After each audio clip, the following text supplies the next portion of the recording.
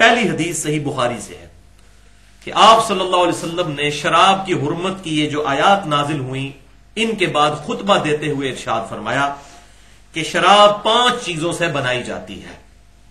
Number एक, अंगूर, number दो, खजूर, नंबर तीन, गंदुम, नंबर चार, जौ और नंबर पाँच, शहद। इनसे शराब बनाई जाती है। लेकिन यहाँ पर यह बात याद रखिए कि शहद वाला पानी, वो पीना सुन्नत है बुहारी और मुस्लिम में साबित है। इसी तरीके से आबे जो जो बिकती है मार्केट के अंदर, वो भी जायज़ है पीना। शराब एक खास तरीके से बनाई जाती है कि इसका जो मशरूब निकलता है, उसको एक खास वक्त के लिए, गलने सड़ने के लिए डिकम्पोजिशन के लिए छोड़ दिया जाता है तो वो भी शराब की फॉर्म इख्तियार कर जाती है। तो आबे जो पीने में या खजूर का मिल्क शेक पीने में, या शहद वाला पानी पीने में कोई हर्ज नहीं है। ये उसके अंदर, वो शराब के जुमरे में चीज़ें नहीं आती। इसी तरीके से अंगूरों का अगर कोई जूस पीता है तो वो शराब के जुमरे में नहीं आती।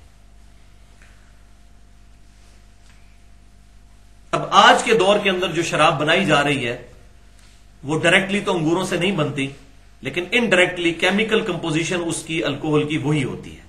लिहाजा किसी भी फॉर्म में शराब बनाई जाए जिसकी केमिकल कंपोजिशन अंगूर से बनी हुई शराब के साथ, या खजूर की बनी हुई शराब के साथ, या जौ की बनी हुई शराब के साथ मैच करती है केमिकल फार्मूला उसका तो वो उसी तरीके से तस्वुर की जाएगी शराब। दूसरी हदीस सही मुस्लिम की है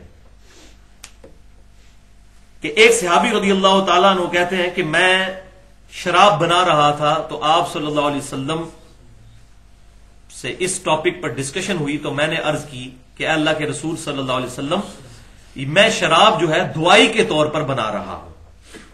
तो आप सल्लल्लाहु अलैहि वसल्लम ने फरमाया कि शराब दुआई नहीं, बल्कि ये तो बीमारी है। एक तो रूहानी बीमारी है ना, शैतनत इसके अंदर पोशीदा है। दूसरा, जिस्मानी तौर पर भी आज मेडिकली ये चीज़ प्रूफ हो चुकी है। कि जिगर को फेल कर देती है। इसके अलावा भी कई बीमारियाँ इस शराब के साथ जुड़ी हुई हैं। तो आप सल्लल्लाहु अलैहि वसल्लम ने फरमाया, ये दवाई नहीं, बल्कि ये बीमारी है। तो इस हदीस के कॉन्टेक्स्ट में ये बात पता चली कि किसी भी दवाई में अगर अल्कोहल डाली जाती है, और उस दवाई का ताल्लुक पीने के साथ है तो ऐसी दवाई पीना भी फिर हराम होगा। अब हमारे मुआशरे में चंद एक सिरप ऐसे हैं जिनमें अल्कोहल डाली जाती है। ज़्यादातर में नहीं होती। ये खांसी के जो सिरप हैं, मुझे भी शायद पहले यही पता था कि इसमें अल्कोहल डाली जाती है, लेकिन आज मैंने मुख्तलिफ़ डॉक्टर्स के साथ कंसल्ट किया क्योंकि कुरान पाक में हुक्म है कि फस अलू अहल जिक्री इन कुन तुम ला तालमून। अगर तुम्हें इल्म नहीं तो अहले ज़िक्र से पूछो। तो ये डॉक्टरी की फ़ील्ड के जो लोग हैं तो होम्योपैथिक डॉक्टर और एलोपैथिक जो डॉक्टर बेहतरीन है, उनको मैंने आज सेल फ़ोन पे उनसे बात की ताकि इस डिस्कशन में मुझे आसानी रहे। तो अहले ज़िक्र इस फ़ील्ड में डॉक्टर्स हैं। जायोलॉजी की फ़ील्ड में जायोलॉजिस्ट है। एम्ब्रियोलॉजी की फ़ील्ड में गायनी की फ़ील्ड में एम्ब्रियोलॉजिस्ट है। तो उन्होंने बताया कि अक्सर जो सिरप है, उनमें अल्कोहल नहीं डाली जाती है। आप उसकी कंपोजिशन जो है, उसको देख लें, उसमें नहीं लिखी होती। चंद एक हैं जिनमें डाली जाती है तो उनको अवॉइड किया जा सकता है। ये तो हो गया एलोपैथिक जो दवाइयाँ हैं, उनका मामला। बाकी जो होम्योपैथिक दवाइयाँ हैं, उन तमाम दवाइयों के अंदर अल्कोहल डाली जाती है, लेकिन उसमें एक गुंजाइश निकल आती है।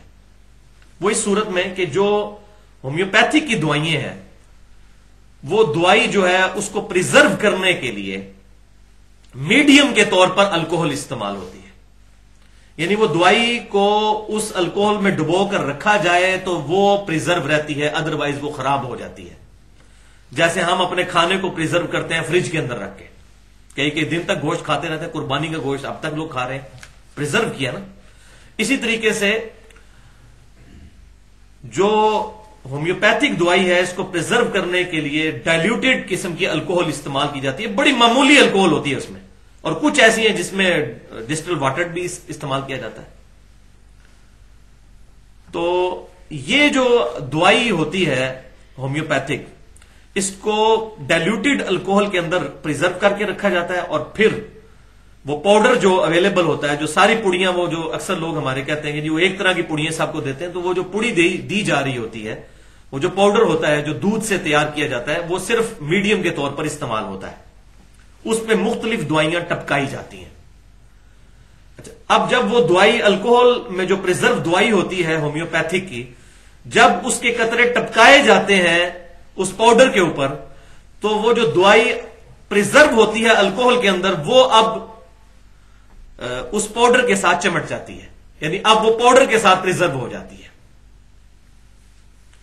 पाउडर के साथ प्रिजर्व हो गई, और इसी दौरान जो अल्कोहल बिल्कुल डाइल्यूटेड फॉर्म में होती है, वो उड़ जाती है उसके ऊपर से। उसमें रहती नहीं है। और ये हमें अब बिल्कुल केमिकली ये बात क्लियर हो चुकी है। पेट्रोल के भी आपको पता है कि एवेपोरेट हो जाता है, बिल्कुल रहता ही नहीं है। इसी तरीके से अल्कोहल भी मुकम्मल तौर पर एवेपोरेट कर जाती है। तो वो सिर्फ़ मीडियम के तौर पर बहुत डाइल्यूटेड और वो डॉक्टर साहब मुझे कहने लगे, आप दो तीन बोतलें भी उसकी पी जाए ना तो आपको कोई नशा नहीं होगा। नए बंदे को भी। इतनी डाइल्यूटेड फॉर्म में होती है। तो वो डालते ही अल्कोहल उड़ जाती है, फिर वो दवाई जो है, वो उस पाउडर के साथ चिपक जाती है। और फिर वो हम दवाई इस्तेमाल करते हैं। और यही वजह है कि इस वक्त उम्मत ने होम्योपैथिक दवाइयों के मामले में भी इजमा कर लिया हुआ है।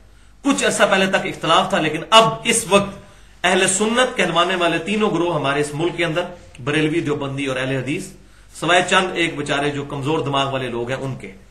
अक्सरियत ने इस पर इजमा किया है, अहल तशैयों ने भी, कि जो होम्योपैथिक दवाई हैं, ये बिल्कुल इस्तेमाल करना है। लिहाजा कोई इसमें कॉन्ट्राडिक्शन नहीं इस सही मुस्लिम की हदीस के साथ। अब कोई प्योरली शराब पीता और कहता है जी इसके अंदर दवाई है। जिस तरह हमारे कुछ लोग जो गाँव के बूढ़े हैं, वो रात के वक्त हुक्का लेके बैठ जाते हैं और कहते हैं, जी, ये तो पेट के लिए बड़ा मुफीद है, तंबाकू पीते हैं वो। उसका हुक्म क्या है, वो मैं बाद में बताऊँगा। तो इस तरीके से किसी का पर्सनल एक्सपीरियंस है तो उसके लिए वो हदीस बिल्कुल उसी तरह एप्लीकेबल होगी कि ये शराब जो है, ये दवाई नहीं, बीमारी है। अगर प्योरली कोई शराब को इस्तेमाल करता है एज ए दवाई तो बिल्कुल वो हराम है।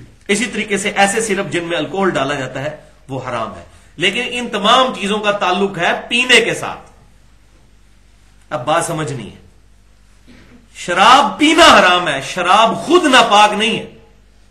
यानी अल्कोहल अगर मेरे जिसम पे लग जाती है मेरा जिसम नापाक नहीं होगा। जब टीका लगाया जाता है स्पिरिट और अल्कोहल वगैरह से जगह साफ़ की जाती है, वो प्लीद नहीं हो जाती जगह। क्यों? खून पुराने पाक में सूरतुल मायदा में हम पढ़ चुके हैं कि खून पीना हराम है, लेकिन खून फ़ी नफ्स ही पाक है। अगर कपड़ों पर लग जाए, कपड़े नापाक नहीं होते, इसी पर मुहदसिन का इतफाक है। सवाए माँ मुनीफा रहमत के और उनकी इश्तहादी खता है अल्लाह तला उनको माफ़ करे। बाकी पूरी उम्मत का इस मामले में इतफाक है कि खून फ़ी नफ्स ही पाक है। जिसमें वो मशहूर हदीस है जो सुन नबी दाऊद में सही सनत के साथ है वो जो दो सिहाबी थे जिनकी नबी सल्लल्लाहु अलैहि वसल्लम ने रात के वक्त जो है पहरे के ऊपर ड्यूटी लगाई। तो एक ने दूसरे से कहा कि तुम आराम कर लो तो मैं ड्यूटी देता हूँ। फिर मैं आराम करूँगा, फिर तुम ड्यूटी देना। तो दूसरे ने तो आराम करना शुरू कर दिया तो इन्होंने कहा, मैं फारग हूँ, चलो नमाज़ नियत कर लूँ। तो उन्होंने नमाज़ पढ़नी शुरू की। इसी दौरान काफरों ने हमला किया तो उनको काफ़ी तीर लगे। और उस दौरान उनके जिसम से खून भी बहता रहा। उन्होंने नमाज़ भी उसी तरीके से मुकम्मल की। और बाद में सहाबी ने कहा, दूसरे ने कि आपने हमें जगा लेना था तो उन्होंने कहा, मुझे नमाज़ में इतना मज़ा आ रहा था कि मैंने अब ये नामुनासिब समझी कि मैं सूरत को बीच में ही छोड़ दूँ, मैंने अपनी नमाज़ मुकम्मल की। अल्हम्दुलिल्लाह। हमारे वाला साहब तो नहीं था ना कि समझ ही नहीं लगती। सूरतुल फातिहा का तर्जमा भी बहुत कम लोगों को आता है। तो ये हदीस वाज सबूत है कि एक सहाबी का फहम है कि वो उनको तीर लगे और तीर लग रहे थे जब तो खून तो निकलता है और बहने की मिकदार में निकलता है। ये तो नहीं है कि हल्का सा वो ज़ाहिर होता है। तो वो नमाज़ पढ़ते रहे, अगर उनका वज़ू टूट गया था तो नमाज़ क्यों पढ़ते रहे? तो इस हदीस की रोशनी में इमाम शाफी रहमत और खुद इमाम बुखारी रहमत ने भी जो है वो तालीकन ये बात लिखी है कि खून फ़ी नफ्स ही पाक है। खून पीना आराम है, लेकिन खून फ़ी नफ्स ही पाक है, कपड़ों को लग जाए तो ये कपड़े नापाक नहीं होते, जिसम नापाक नहीं होता। तो ये दो बिल्कुल मुख्तलिफ़ चीज़ें और यहाँ मुझे अब जिमन लतीफे के तौर पर वो बात याद आ गई कि यही वाक्य जो है वो शेख जिक्रिया साहब ने भी फजाल अमाल में लिखा है और उसके बाद एक बड़ा अजीब व गरीब जुमला लिखा है। उन्होंने कहा कि इससे यह बात साबित हुई कि इस सहाबी के नज़दीक खून पाक था और इमाम शाफी रहमत भी कहते हैं, खून पाक है, हो सकता है वो सहाबी इमाम शाफी के मज़हब पर अब किसी की मत मारी जाए और गेर उल्टा लग जाए ना तो उसका कोई इलाज नहीं। अब उनसे बात करेंगे तो वो तावील करेंगे, नहीं नहीं, वो मुराद यह कि दोनों का मज़हब एक है या जो है। लेकिन ये इस तरीके से गुफ्तु करना एक सहाबी के बारे में, मेरा ख्याल है ये तोहिन से खाली नहीं है। सहाबी अलहमदुल्ला मुश्तहिद थे और एक सहाबी के इश्तहाद पर करोड़ों इमामों के इश्तहाद, इमाम मुनीफा के, इमाम शाफी, इमाम मालिक, इमाम आमिन नंबल के कुर्बान, उन्होंने डायरेक्ट नबी वसल्लम से इल्म हासिल किया था। अगर सहाबी का फॉर्म क्लियर हो गया, इसके बावजूद कोई कहता है, मैंने इमाम मुनीफा के फतवे पर अमल करना है तो वह खुद ही फैसला कर ले। कि वो किस शख्सियत को, किस बड़ी शख्सियत के ऊपर तरजीह दे रहे हैं।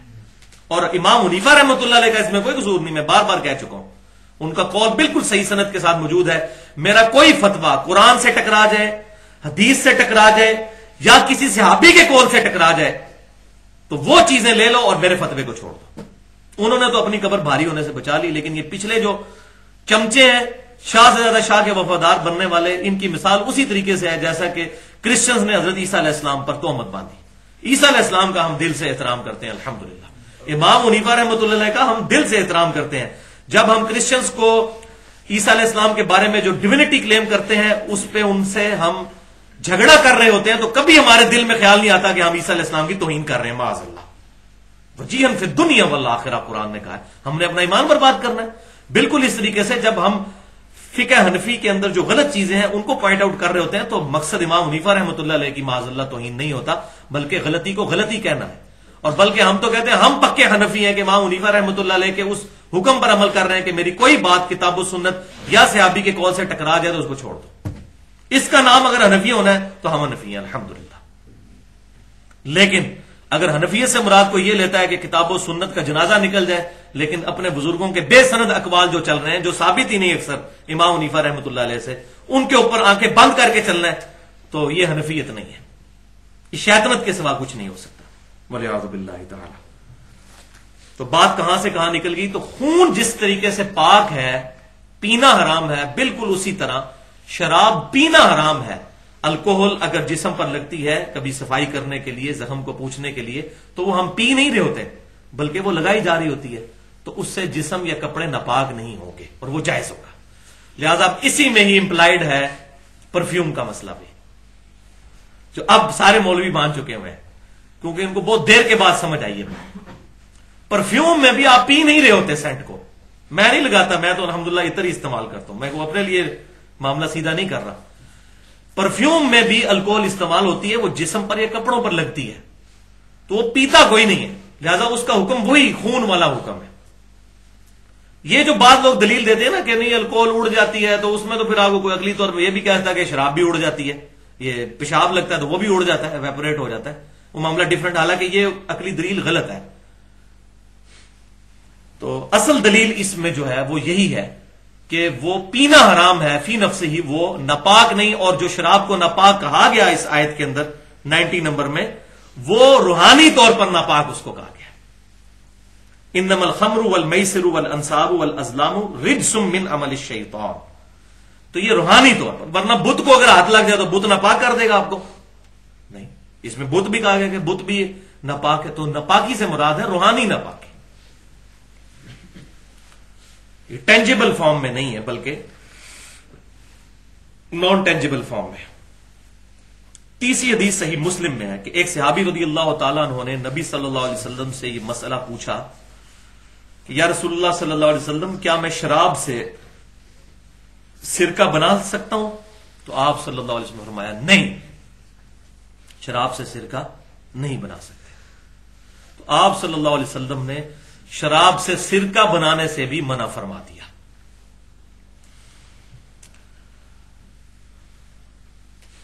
चौथी हदीस सही बुखारी और सही मुस्लिम की मुतफकुन हदीस है।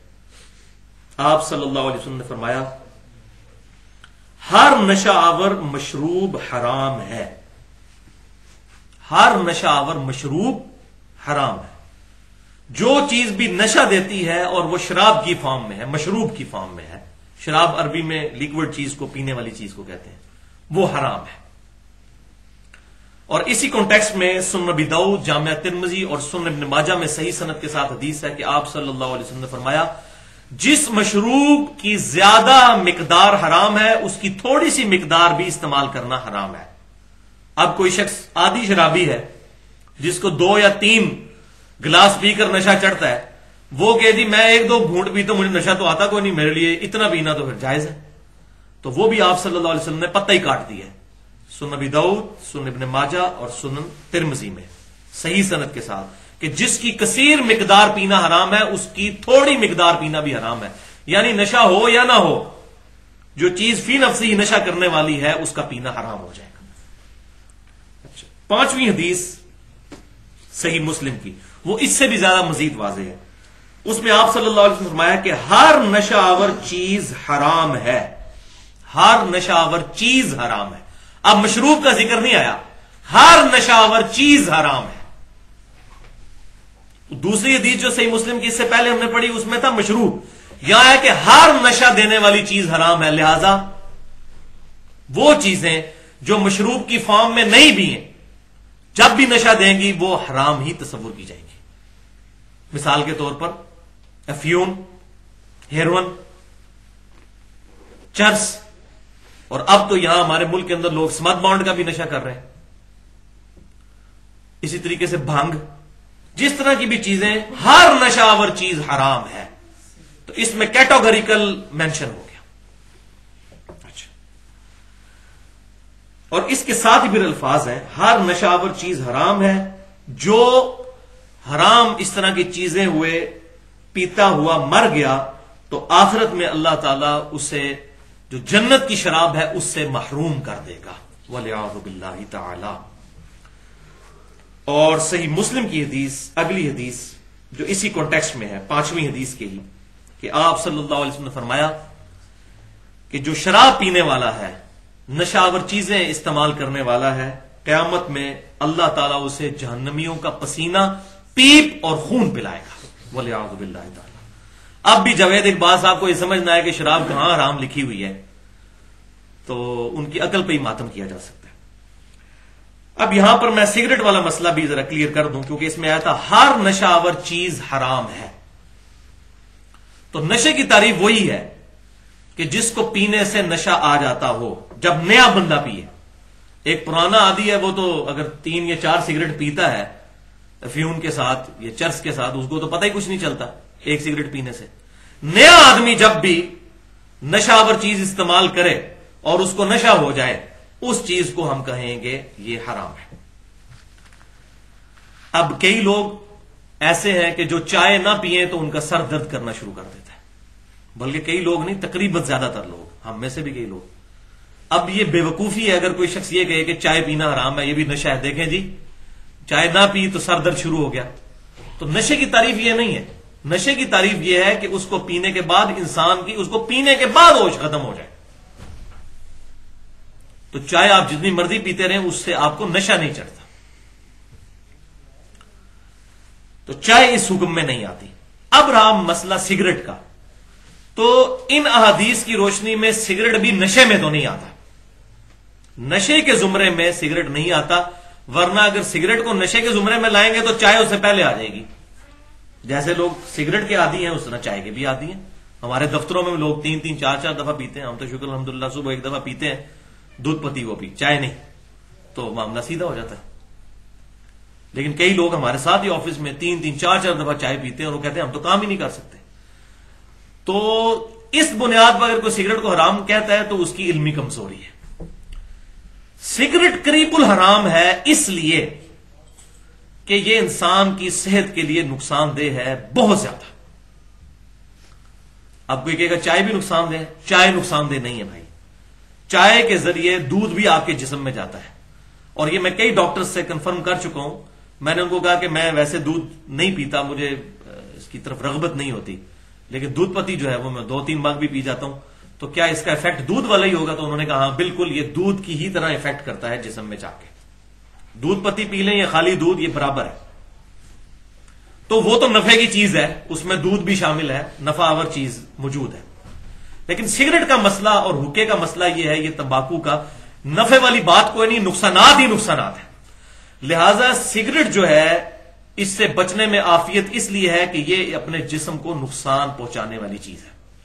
और अभी मेडिकली ये चीज़ प्रूव हो चुकी है, अमेरिका में पूरे पूरे रिसर्च पेपर छप चुके हैं इस बात के ऊपर कि जो लोग सिगरेट पीते हैं, उनके फेफड़े जो है, वो डैमेज हो जाते हैं। इसी तरीके से दिल की बीमारियों का भी शिकार हो जाते हैं। अब कोई ये ना कहे कि फलां बाबा है, वो देखो बचपन से पी रहा है सिगरेट, वो अभी तक सही है। एक आध मिसाल देने से नहीं मामला होता। ओवरऑल जब भी स्टैटिस्टिकल डाटा इकट्ठा किया जाता है तो ओवरऑल देखा जाता है कि दस बंदों के ऊपर अगर तजर्बा किया गया तो नौ को इफ़ेक्ट हो गया तो नौ का मामला लिया जाएगा, ना कि एक का।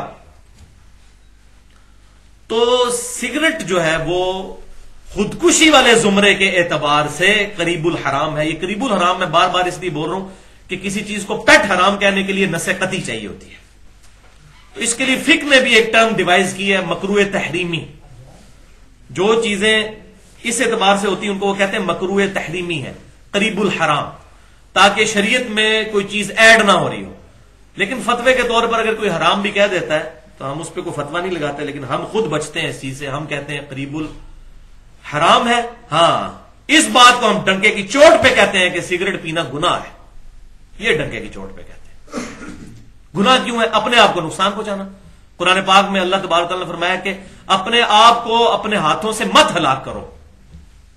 जबकि मेडिकली ये चीज़ जब प्रूव हो चुकी है कि सिगरेट पीने की वजह से इंसान की सेहत को नुकसान है और कई बीमारियों का इंसान शिकार हो जाता है तो ये जानबूझ के अपने आप को डैमेज करने वाली बात और नुकसान ही नुकसान है।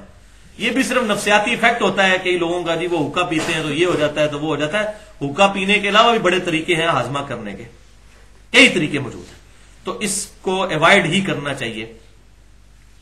इसी में आफियत है। लिहाजा सिगरेट वाला मसला भी क्लियर हो गया। तो ये जो बेवकूफ़ लोग बात कह रहे हैं नशे की वजह से आराम है तो वो उनके दलाइल जब कमज़ोर होते हैं तो फिर मेरे जैसा बंदा सामने बैठा होगा तो मैं कहूँगा पहले चाय पे फतवा लगाओ कि चाय भी हराम है। अगर सिगरेट हराम है तो। सिगरेट पीने से भी होश नहीं जाती, चाय पीने से भी नहीं जाती। और सिगरेट का आदि बगैर सिगरेट के नहीं रह सकता, चाय का आदि बगैर चाय के नहीं रह सकता।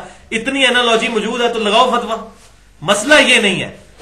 सिगरेट को हम जो गुना समझते हैं या करीबुल हराम समझते हैं तो इस वजह से कि इसमें अपनी सेहत को नुकसान पहुंचाना है। यह स्लो पॉइजनिंग है। स्लोली आप खुदकुशी की तरफ़ जा रहे हैं सुसाइड की तरफ़ जा रहे हैं। इस वजह से। वल्लाह अल्लाह ताला पर छोड़ते हैं मामला। तो ये पाँच हदीसें होंगी। अब आखिरी तीन हदीसें। शराब के जो हदूद हैं, या उसके बारे में जो ताजीर है, उसके बारे में। कि आखिरत की सजा तो आपने सुन ली, सही मुस्लिम की एक हदीस में आया था, क्यामत वाले दिन अल्लाह ताला उसको जन्नत की शराब नहीं पिलाएगा, और सही मुस्लिम की दूसरी हदीस में आया था कि दोस्तियों की पीप, खून और उनका पसीना, वो चीज़ उसको पिलाई जाएगी जो दुनिया में शराब पीता था। वले आदबिल्ला